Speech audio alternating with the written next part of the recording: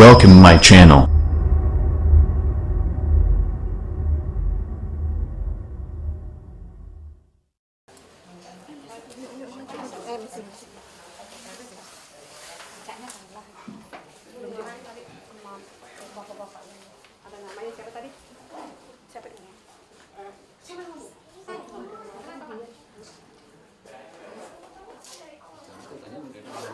Ya sekarang gini Pak, sampean nggak usah ngulu-ngulu waktu, nggak usah ngulu-ngulu waktu. Pak ya kan? saya Bukan, ini, ini kan soal sampean doang. Ngapain ngurusin Pak Camat? Ya? Pak Lurah itu hanya tanda tangan aja. Ini jelas warga miskin Pak.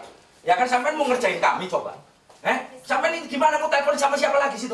Hah? Pak Camat siapa? Hah? Pak Camatnya mana? Ya kan, sampai jangan ngerjain gitu loh. Ini ditunggu sama dinas kesehatan Pak. Ini ditunggu sampai di, sama dinas kesehatan, ditunggu sama RSUD. Mau sampai jam berapa coba? Hah? Hanya tanda tangan aja Pak. Hah? Ini jelas-jelas warga miskin ini. Coba mana Mas itu mana? Mas ini Mas. Ya jelas-jelas ini warga miskin. Mau apa lagi? Mau diklarifikasi apa lagi? Ya kan? Ini jelas-jelas kewenangan lurah Pak, bukan camat, lurah sekali lagi. Ini kewenangannya lurah. Hah? Sampai kenapa mau nggak mau tanda tangan? Coba. Saya punya Iya Pak, kenapa nggak mau tanda tangan? Ini nggak perlu. Ini bukan sesuatu persoalan yang besar. Ini hanya persoalan rakyat minta tanda tangan aja Pak. Ya kan? Ngapain sampai ngerjain Pak Camat? Ini nggak ada orangnya. Tuh sampai kapan kami menunggu? Sampai kapan? Lu kok koordinasi gimana? Ini nggak perlu koordinasi Pak. Ini nggak perlu. Ya kan ini kewenangan sampean tidak merugikan siapa pun. Pemerintah Depok mau bayar. Saya nggak minta duitnya sampean Pak. Minta kebijakan dari kemarin. Udah empat hari ini orang.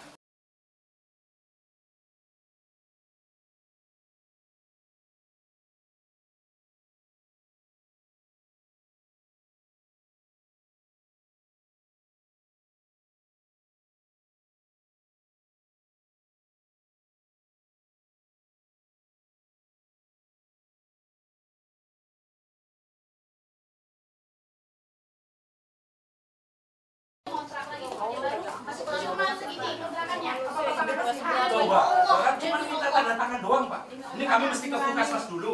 Terus itu dari Jumat. Bayangkan saya Pak. Di mana Pak? Nuraninya Pak. Di mana? Tinggal sampean doang perintah Pak. Kalau sampai diperkarakan saya ditangkap. Kalau Bapak gara-gara nulis itu diperkarakan saya Pak. Saya didokter. Saya jaminan.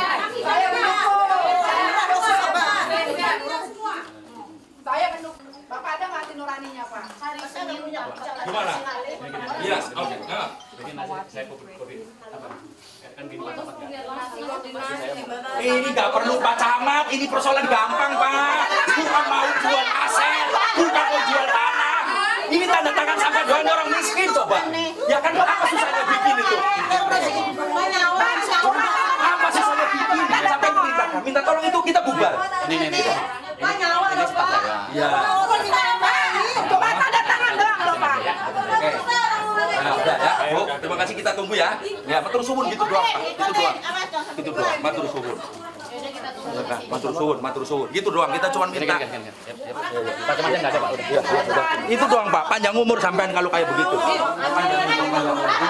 Yang bikin umur adalah Allah Pak. Iya, panjang umur sehat nolong rakyat. Yang yang masalah umur Allah Pak. Iya, nolong rakyat sampean, Pak. Nolong rakyat. Ya kan kalau bukan sampean siapa coba? Ya kan? Petika petika petika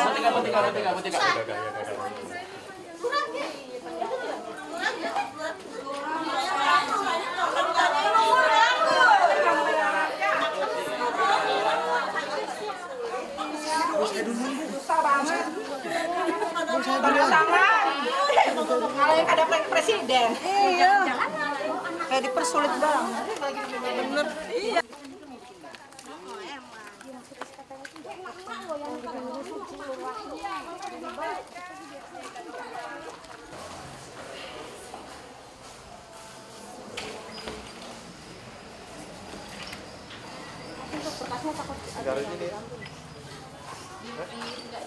Tungguinnya, tungguinnya, tungguinnya, jagain, jagain. Harus sampai jadi itu, jagain. Alright.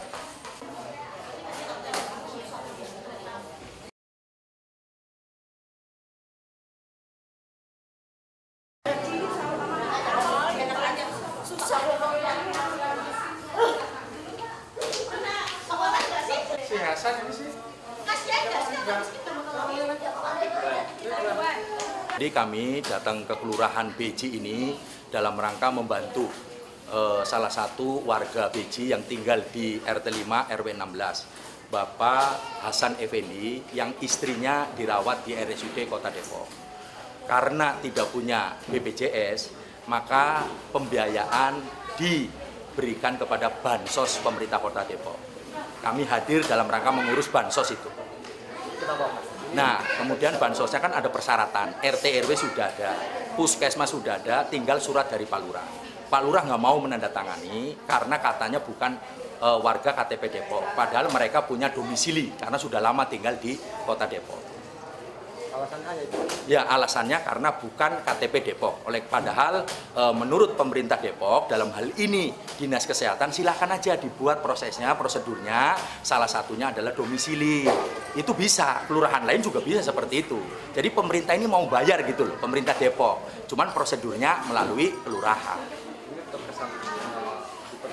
Ya kami merasa dipersulit karena orang ini berapa hari sampai ngurusin sudah empat hari mereka ngurusin tiga empat hari ya bolak balik bolak balik sehingga waktunya habis. Kami hari ini di deadline oleh dinas apa RSUD tiga